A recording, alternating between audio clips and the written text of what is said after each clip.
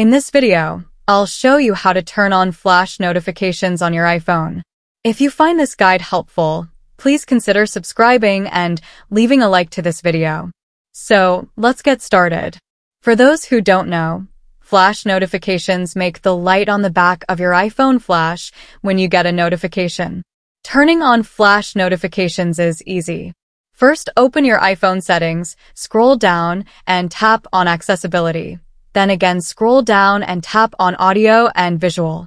After that, go at the bottom and tap on LED Flash for alerts. Then turn it on.